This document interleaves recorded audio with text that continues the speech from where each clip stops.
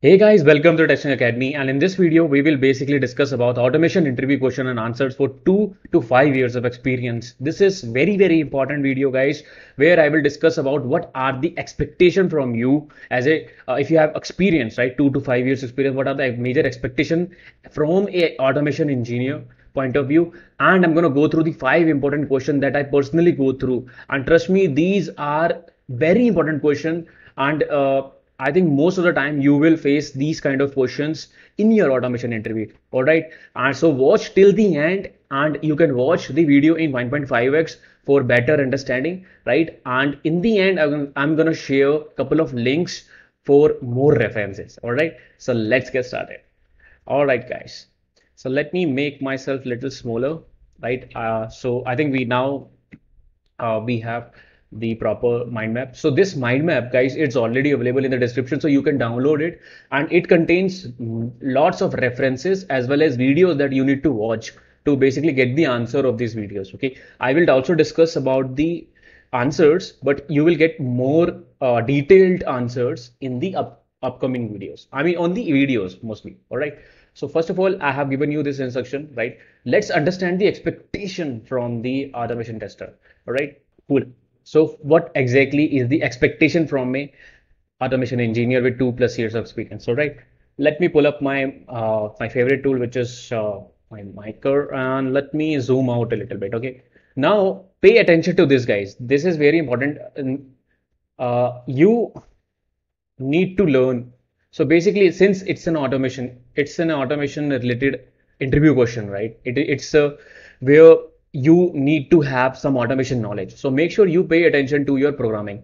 So how I have done is I have basically prepared for the core Java. So I have prepared it the core Java where I was just, revising the concepts, right? You need to learn about the collections because people generally ask questions related to hash map, hash table and hash uh, hash related things, right? So they will basically ask you a couple of questions from this. Uh, so make sure you pay attention to this collections as well as the core Java, right? Of course, you need to know page object model as if you have a two plus year experience now, page object model POM is expected from you guys. So pay attention to this.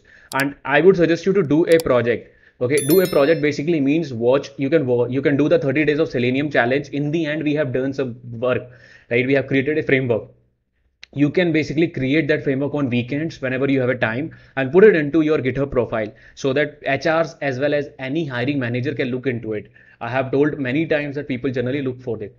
Now you need to know the design patterns also but here is a catch. You as a automation tester at least you should know about them but probably you will not able you will not uh, use it much. Okay? For example you, you singleton singleton page factory Uh, or page object model, right? These thing, three things are enough for you to get started, I would suggest. All right. And the second point is automation knowledge, right? Automation knowledge, basically here, three things are very important. The first one is basic knowledge of Selenium, right?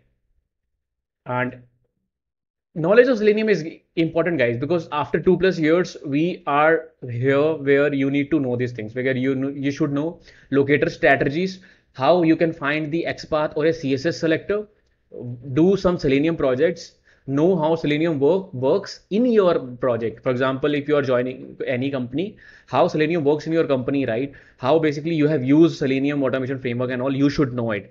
This is very, very important for especially for the experienced people, guys.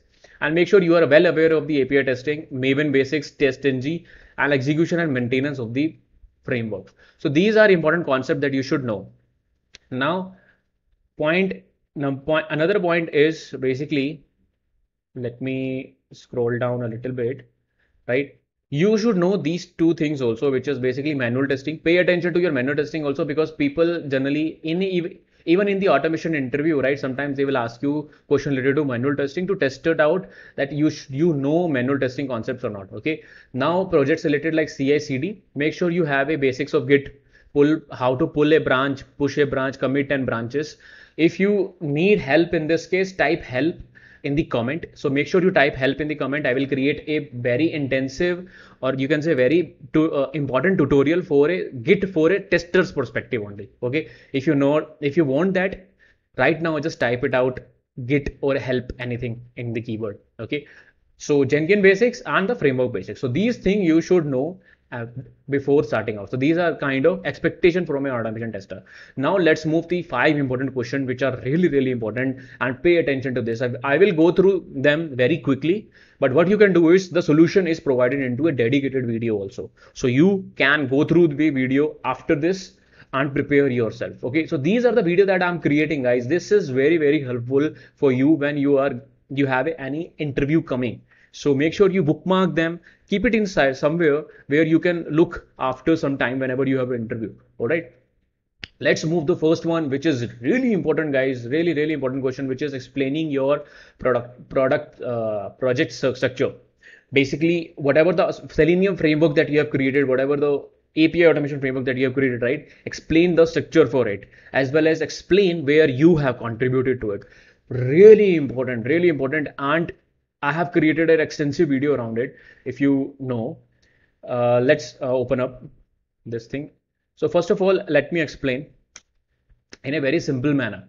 Okay, so that you remember this thing easily.